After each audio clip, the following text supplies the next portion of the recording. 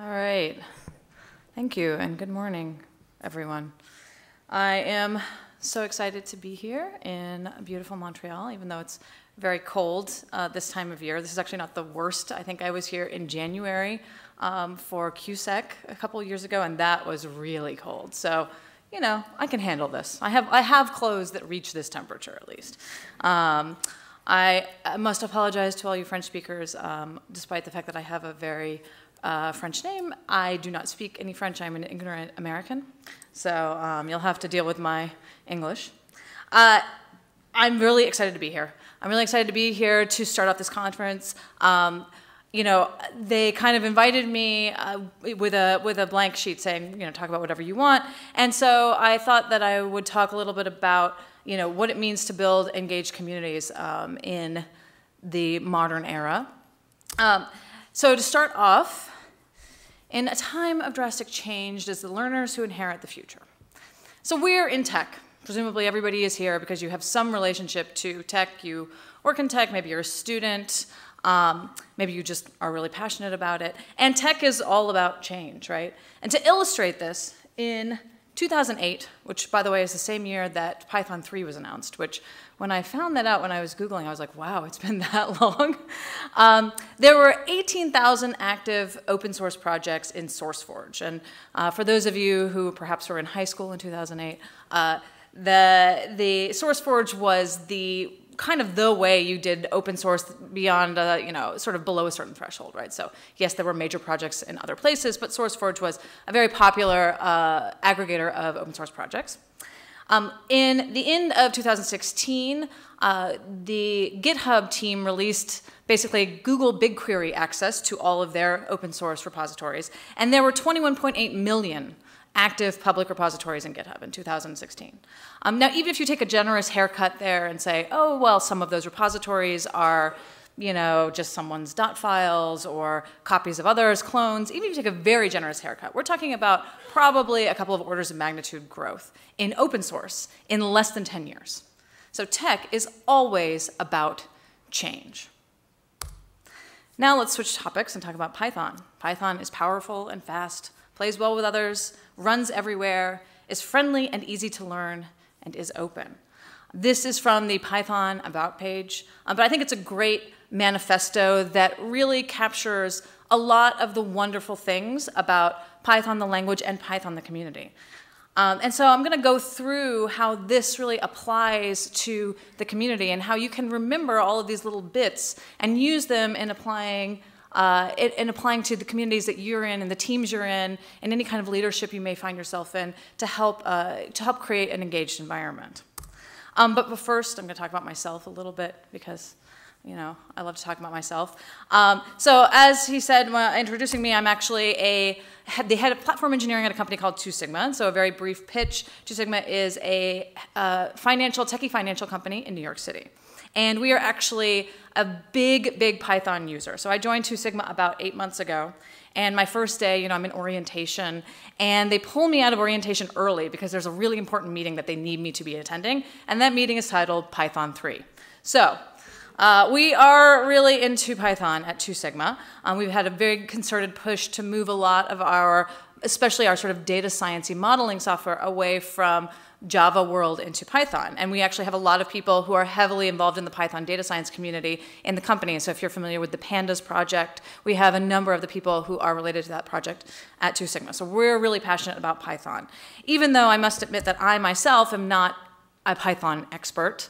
Of course, I've written Python. I think everyone in the world has written Python, but uh, I am not a Python expert. I am better known for uh, distributed systems. Um, Apache ZooKeeper is one of the projects that I've worked on as an open source developer.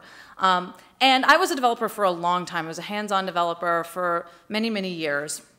And I, so I, you know, I did that for a long time. And in about 2011, I decided that you know, I had been a tech lead and I had managed a few people, but I decided that I wanted to take the leap and go work for a startup and, and get some uh, leadership experience and really, really learn how to become a leader. And uh, so I joined Rent the Runway, um, and I joined the company as a director of engineering, so I wasn't running the whole show or anything like that. Um, the company was about 15 people in tech.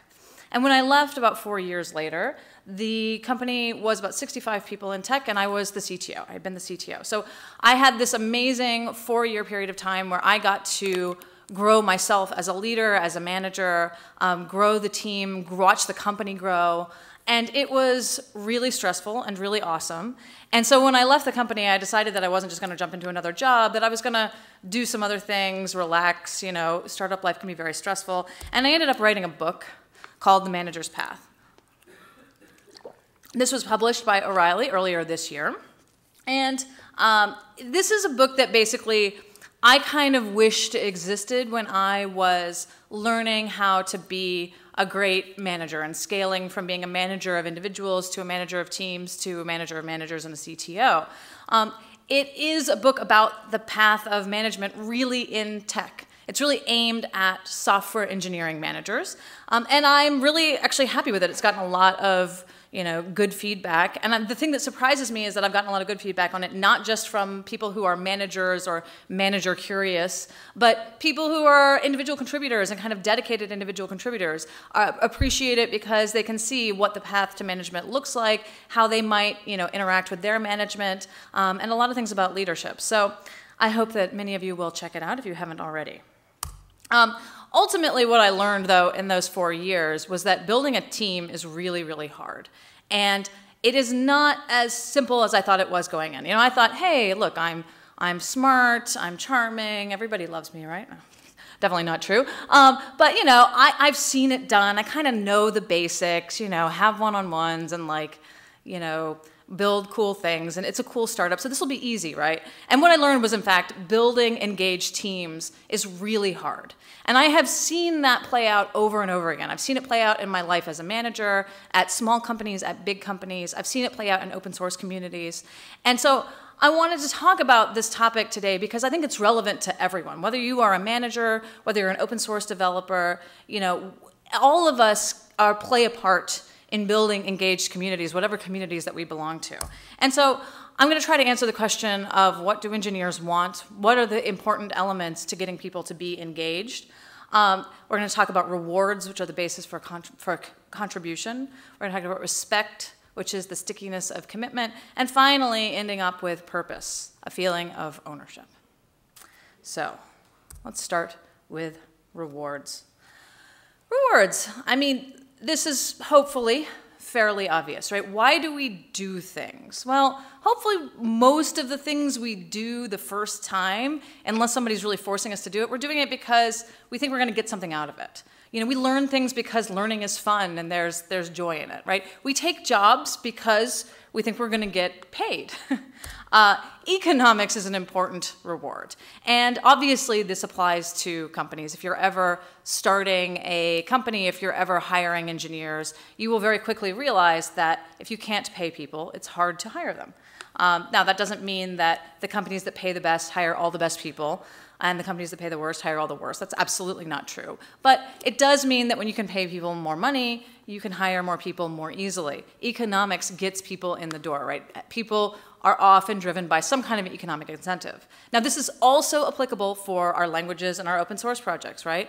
Many people learn, pick the programming languages that they're going to learn um, based on, yes, they like it, maybe it's fun, maybe it's easy for them to learn, but also they see, hey, wow, there are a lot of jobs for Python developers out there. If I learn Python, I'm going to be more employable.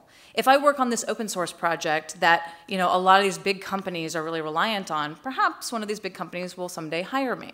So economics is a pretty important uh, first step to getting people to think about a language or, or a project or a company and getting them in the door. Um, but that's not the only thing you need to do to get people in the door, right? Once, you, once you've got them in the door, you want to make it sure that they can continue to contribute. And it, contribution really requires that they be able to get things done um, and that they be able to kind of move pretty fast.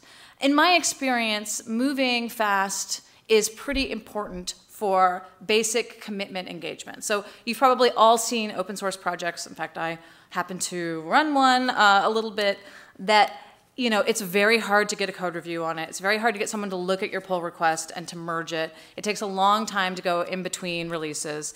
This is really hard, right? Open source projects are hard in this way because so often they're run by volunteers and so they move really slowly. But when they move really slowly, that discourages people from committing to them because nobody wants to go two months between putting a pull request out there and actually getting it reviewed and getting it merged. That sucks. Um, speed is important. Ultimately, engineers like to ship. I have a couple of stories relevant to this from my own life. My very first job out of graduate school um, was at a financial institution, and we were doing a style of sort of software development process called XP, Extreme Programming. Um, some of you may be familiar with that, maybe some of you aren't. Uh, it's kind of a proto-agile thing.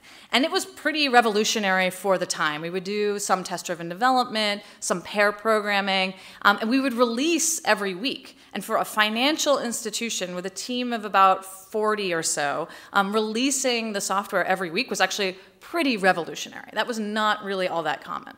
And it was awesome for me because it meant that all of these things, things like pairing, so I was with someone who knew more and could help teach me things, and test driven development, so there were lots of tests so I could really figure out if a change I made would break things or not, and releasing frequently meant that I had this amazing learning feedback cycle. And it was one of the things that really kept me in tech because up till that point, I just felt like every time I took a job or worked on something big, it was so slow to get anything done to feel like I was making any progress.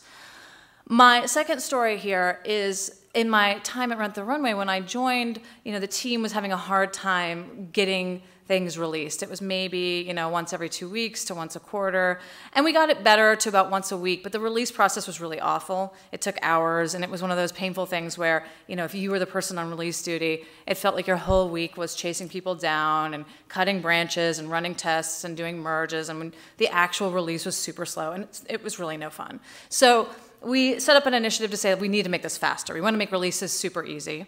Um, and did a bunch of work, did a bunch of automation. And towards the end of that, I said to the team, hey, how about we make it so that we can release every day? And maybe I should have said, how about we make it so that we can release every hour? But, you know, we went to release every day.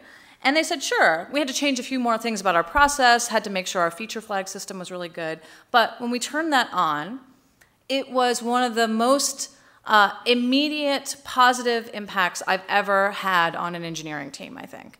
Uh, people were just so much more engaged. They were so much happier at work because they were able to get things done. Uh, do you get to do what you do best every day at work? That is one of the key questions to ask yourself and to ask a team to judge uh, employee engagement. It's actually not just for engineers, for everyone. People want to do the thing that they're good at. They don't want to get caught down, caught down in you know, bureaucracy and slow processes, right? And so as leaders, we want to make sure that people feel like they get to do what they do best as much as possible. Uh, ultimately, right, you want to have a great feedback loop. Shipping leads to getting things done, leads to learning. If you believe in the theory of motivation, that motivation is all about, you know, autonomy, mastery, and purpose, learning is what gives us that mass, that feeling of mastery, right? Being able to learn, being able to do things quickly, um, is what helps us master whatever it is we're trying to do. So what does that have to do with Python? Well, let's look back at our manifesto here. Python is powerful and fast and easy to learn, right? Python now, we may mean fast in terms of it runs quickly, but I think everybody here probably knows that Python is really fast to get simple things done in. I think this is one of the number one reasons why it is such a powerful and successful language, is that it is just so easy to have an idea and to spin up a quick little Python project and to get it out there, get it done. It's really, really fast. And part of that speed is because it's so easy to learn. I mentioned that, you know, I've written a little Python. Everyone's written Python. Everyone has written Python because Python has possibly one of the most easy to use, you know, beginner friendly syntaxes out there. It's just super easy. It's super easy to read. Um, and these are really powerful uh, quali qualities of the language that make it easy for people to join the community and to want to commit to Python. All right, but Rewards are great, learning is great, moving fast is great. I'm sure you've all, however, been in situations yourself or seen situations where somebody joins a team or a company or you know picks up a language and they love it and they're super engaged for the first few months, maybe the first six months. Um, but by a year, or a year and a half, they've gotten bored and they've moved on. They've moved on to a new language, they've moved on to a new company, what have you. Um, and the reality is that no, nothing is ever perfect. There is no such thing as an experience where forever it is up and to the right, where things are always smooth, where you're always just having ideas and shipping them and having ideas and shipping them. You know, the reality is that there's always going to be bumps. Whether it's big bumps, like the company's not doing so well, or little bumps, like, oh, I've got to write performance reviews, and that's going to take two weeks of my time where I'm, that's all I'm doing, right? Um, these bumps are going to happen. You're going to have times when you don't just get those little dopamine hits of reward. Um, and so you need something more to smooth that out, to keep people engaged through those times. And I believe that that really is required, that really requires a feeling of respect. So, what do I mean? Well, let's talk about safety. Safety, psychological safety. This is a pretty popular topic in leadership circles these days. Um, teams that feel psychologically safe around one another feel like they are able to make mistakes, ask questions, to be vulnerable. Um, and this is an important baseline for engaged and successful teams, and you do not have to take my word for it. Google has done a bunch of research on their own teams. So one of the things I like about Google is their willingness to do experiments and be very scientific about all things, and that includes things like what makes teams successful. And so they observed a bunch of teams, and what they found was that their most successful teams had a category, had a, had a, had a bit of psychological safety in their interactions with one another, right? And this is a bit contrary to the stereotype of the sort of aggressive jerk engineer who, you know, is jockeying to be the smartest person in the room. Because you really can't be doing that and have a lot of psychological safety. You have to have room for people to you know make those mistakes and to ask a dumb question every now and again in order to create this kind of an environment. Now, how do you do that? How do you create that? I think that it really comes down to making your teams feel a sense of relatedness with one another. Um, relatedness is, you know, a feeling of kinship, friendliness, community, feeling like you're part of a team, part of the tribe. Um, and if you read a lot of literature on motivation, you know, we have all probably heard again that autonomy, mastery, purpose uh, model of motivation theory, which is very popular, popularized by Daniel Pink. But a lot of people actually believe that relatedness is an important component of motivation for most people. So feeling like they are in a group that they care about and doing things that you know make the group happy and give them a feeling of pride and respect, right? Having a feeling of pride and respect for being around people that you care about, that when we all do something good, we all feel good about it. We all feel proud to say, I work for this company, I use this language, I'm on this open source project, I work in this team. Now, um, you may have wondered why like I used this picture in the beginning and it had the hammer, which was in fact one of my nicknames and my last job. Um, I'm not all that good at this, it turns out, or at least I, I, I wasn't very good at uh, developing this on my teams when I first started out as a serious manager. In fact, my very first uh, review as a, as a senior executive, my CEO told me that I was creating a culture of fear. Uh, which is really like not a thing you want to hear in a review. I don't think. I mean, I, I, I don't know about all of you, but like I didn't think of myself as you know, being that kind of a mean or draconian. But it turns out that I was not doing the work to generate that relatedness on my team. I was not doing the work to make people feel like they could be safe. I was holding them to high standards, and I think holding people to high standards is good. That can actually be very motivating for a lot of people. But you need to also make it clear that you care about them. And that if they don't always hit the high standards that's that's okay right? It's better to aim high and fall a little short um, but still be learning. And so you know what i learned in this process is that uh, empathy is a learnable skill. So uh, this quote always be sincere whether or not you mean it. Um, no one's quite sure who actually really originated that quote, or else I'd have an, a name next to it. Um, but I think it's a great thing to just keep in mind, right? It kind of doesn't matter whether you care about people's lives or not if you act like it. So, I know this sounds. This makes me sound like a total sociopath. I realize. I'm. I'm. You know, speaking of being vulnerable, I'm willing to get up on stage and sound like a sociopath. Hopefully, to help you, you all understand this point. What I found was okay. I wasn't doing any of those things to help my team feel like I cared about them. I wasn't doing things like asking about how their lives were, asking how their families or their dogs or their marathon or whatever it was that, you know, got them out of bed in the morning that wasn't just work. I wasn't doing any of that stuff to make it clear that I actually cared about them as people. And so I, I realized I needed to start doing that. And so I started doing it. And what I found was that once I started asking those questions, I started caring. I actually did, right? You know, it was just simply a matter of like where my attention goes, right? You know, where the attention goes, energy flows. So my energy, now that I was paying some attention to that, actually I started to care more. And they started to care more about me because I was caring about them and they would start to ask me about myself. And this helped generate a great feeling of relatedness, a great feeling of safety. It really, you know, uh, got us far away from that culture of fear and made the team a lot stronger. And Python, again, bringing it back to our community, right? So, plays well with others and is friendly. I love the fact that these words are in the mission statement here. Um, because, yes, of course, maybe plays well with others means that it is very interoperable with other languages and other systems. But look around you. This is your community.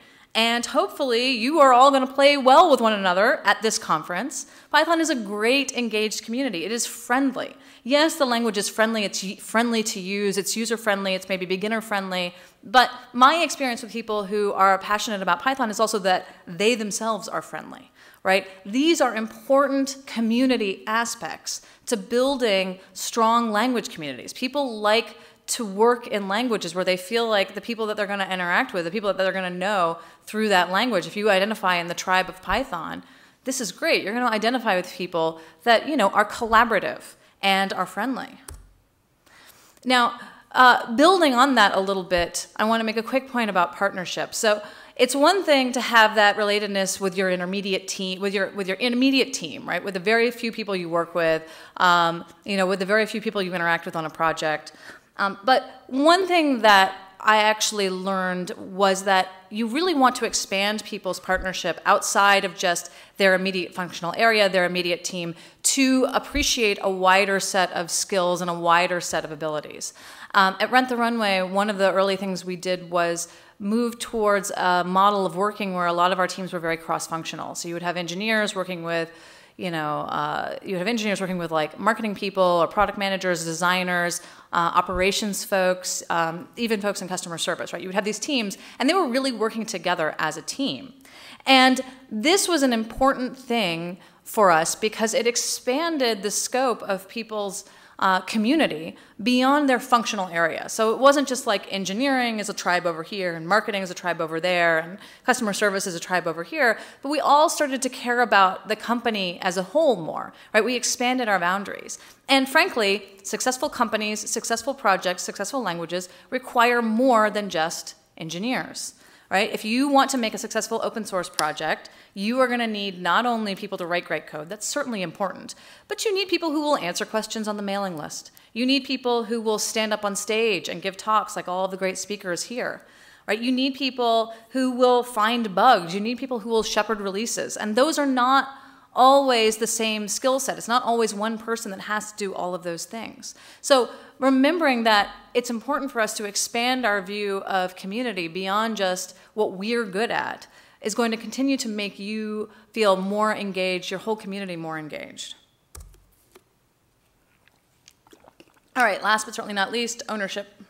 A sense of purpose. Purpose is like like maybe the number one cliched topic in, in leadership, motivational speaking, what, what have you, right? Start with why. Why does the company exist? Why does the project exist? Why do the team exist? Why, why, why? And why is super important. It is really important to have a strong vision, a strong mission statement. That is what rallies people, right? When you work for a company or when you work on a project, it's great to work on something that you're like, I love the vision of this project. I love the vision of this community. I love the vision of this company, right? Finding value in the world's data, democratizing fashion. You know, the various mission statements for companies I've worked for have been meaningful and they've, they've helped us, you know, kind of visualize this beautiful dream of the future that we kind of want to realize. And so we've got a mission statement here. I keep going through it. We've got a why uh, to some extent. Python is powerful and fast, plays well with others, runs everywhere, is friendly and easy to learn, is open, right? Uh, you know, why Python? Because it's rare to get all of these things together at once. This combination of attributes is a unique combination of attributes. And, you know, powerful. Python is a, is a language that you can do a lot with. Why does this exist? Because we believe that it's possible to have something that is powerful, that runs everywhere, that is open, right? Many of these decisions you could have done without um, and still made a pretty good language. But all of them together give us a great mission statement. But if you want to give people ownership, if you want to make them feel that purpose day to day, um, you need to break it down for them. So my experience is that a lot of people are great with the like high level why, and then they say, okay, and here's all the tasks you need to do, go do them. Um, and that doesn't really help people understand why they're doing what they're doing. Why is the thing that I'm doing right now important? Why this? What is the point of it? Uh, if you want to create a sense of ownership in people around you, and you happen to be in a leadership position, one of the important things that you have to do is break down the grand vision and tie it to the now. Tie it to the thing that you're doing right now. You are teaching ownership by teaching people how to break down that grand vision into smaller chunks and to identify paths towards the next stage of our evolution, the next stage of our vision. So you teach ownership by tying the small why this into the large why at all. Now, okay, that's great cool. I hopefully everybody is like, yeah, you know, I dig that. I really like it when I feel like I'm working on something and I know the value of it. I know why it's important to the larger picture. But the danger with this is that a lot of leaders um, want people to have ownership, right? Because when someone has ownership, they go above and beyond. Someone who has ownership is going to do what it takes to get something over the line. If they feel like they own it, you know, whether it's staying up late to finish that last bug, or whether it's, you know, working with customer service to help our customers answer a question, whatever. If you feel ownership, you're probably going to do a lot of things that you might not normally do if you're just like, eh, I'm just a coder. I'm just supposed to write some code. I'm just supposed to fix some bugs, whatever. Who cares? Who cares when it's done? Um, and so, you know, leaders really like that. But the trick is that you can't give people ownership without them wanting to have an opinion about what's next because that's what that's what ownership is. Ownership is feeling like you are part of the whole vision of a project. You want to help decide where you're going. You want to be part of the success of the whole thing. You want to actually make decisions. That's what an owner does because you have opinions. You care. This is part of your you know your world and not just something some task that you're being assigned. So you've got to be willing to give away that decision making if you start, decide to scale this way, if you decide to scale ownership. You've got to give away your Legos. Um, there's a great blog post by a woman named Molly Graham called Giving Away Your Legos. I think it's pretty easy to remember, so I don't have it linked here. Um, and it's all about scaling. Um, we can look around, you know, this conference, right? We are having a great Python conference here in Canada. Um, if the, you know, founders and owners of the Python community were you know, brilliant and created a brilliant language and created a great community, but they were very much, you know, control freaks and said, look, we know exactly how we want to run this community. We know exactly how we want all of our conferences to go. And you know what? We just really think that the only people who can run conferences is really us. And we don't really like to travel. We all live in California. So all the Python conferences are going to be in California. Um, and they're going to be great. They're going to be amazing but you have to travel to California to get there. And really, not that many people can attend because of that restriction. So maybe you've got this beautiful, pure vision by the visionaries of the, you know, the product, the process, the language in this case, um, but you can't scale. It's really hard to scale that vision, that process out to all of the people that you can scale it to if you're willing to give up control, if you're willing to let others take that ownership and do it the way that they want to do it. Um, this is, you know, in my experience, just one of the most important parts of scaling ownership is really being willing to say, okay, here's the goal. Um, go execute against it. and measure yourself and learn something from it and you know come back and we'll, we'll iterate on it uh, at rent the runway we did this thing called product pillars we would set business goals um, that were pretty high level right improve the customer experience uh, post order right and the teams, those cross functional teams, would actually go away and set their own roadmaps. So it wasn't like the roadmaps were coming down from on high and all the details were coming down from on high. They could actually have that ownership. And that was a third stage of engagement that the people who really felt like they were engaged in those roadmaps, they were making those decisions, they were the again, you know, happy to be to be shipping code, happier to feel like they were part of a larger community than just just tech, and happiest because they actually felt like they had decision making power over what they were going to build. So, all these are great. Um, it's important to remember, though, that just because you get someone from, you know, contribution to commitment to ownership, you can't just sort of leave it there and say, oh, girl, you're an owner. Now, now I don't have to worry about the other things, right? Um, if you feel like you are fairly committed to a project, but you can't get anything done, and every release you do is just so slow, you know, it takes forever to get, you know, to get any, you know, ticket approved. Um, if you're committed to a project, but or if you're committed to a company but you feel like you're underpaid, um, or you're stuck in bureaucracy, that can really undermine your engagement, right? It's just, that is important. That's important. It has to be attended to. Similarly, and we've seen this a lot in open source communities, um, when you love a community and you feel like you have ownership over a big part of that community and you are super engaged, but you feel like that community is not safe for you, is maybe toxic to you, people will walk away. We have seen examples of this in open source. It's very sad when that happens. It's really sad when a community drives people out of it because it's unwilling to, you know, engage with the, you know, safety aspects of building good collaborative large communities. So all of these parts are interacting and yes, usually you build up to ownership, but once you've gotten there, you have to attend to everything. You can't just let any of them drop. All right. Summarizing, three factors of engagement, in my opinion. Rewards, economic rewards, status rewards, getting things done, learning. You know, just remember that engineers like to ship. And anytime you're in a position where you can make it easier for people to get things done, do so. Uh, respect, safety, relatedness, community, partnership, you know, treating your colleagues as fellow human beings, remembering that we are humans, you know, and, and building those community and empathy relationships. And finally, purpose. Why? Why does the thing exist at all? Why am I doing this right now? Um, and feeling like you, people can own parts of the decision process themselves, giving away, if you were a leader, giving away your Legos. Python is powerful and fast, plays well with others, runs everywhere, is friendly and easy to learn, is open. So I hope that through and going through this, I've given you, you know, a shortcut to remember these different aspects as they relate to your community, as they relate to your language of choice, um, because things change, right? Uh, we're in the third generation since this photo was taken. It's pretty amazing. Um, and so, you know, if you want to build a successful community that's going to last for the next 20 years and the next generations, right, you will have to continue to engage with it, have to continue to, to learn with it, have to continue to bring that strength, uh, that strength, engagement, respect, um, and community together. And thank you all very much. That's all. Please, uh, if you're interested, uh, buy my book. And, and I'm so happy to have gotten to speak to you today. Thank you.